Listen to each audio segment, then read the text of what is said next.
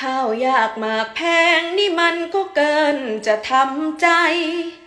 แต่นี่ค่าไฟขึ้นได้ยังไง ไม่เลือกเวลา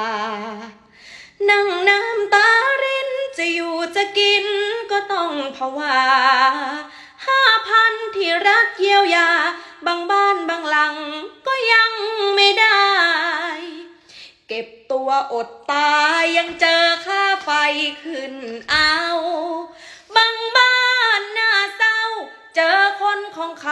ยกเอาหม้อไป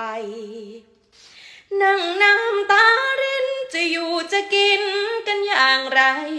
จะมีใครช่วยให้รอดไป คงต้องอดตายเสียแล้วพวกเรา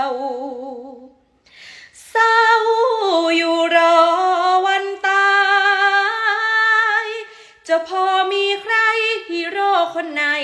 มาช่วยบรรเทา หนูร้องเพลงมาสะท้อนปัญหาของพวกเรา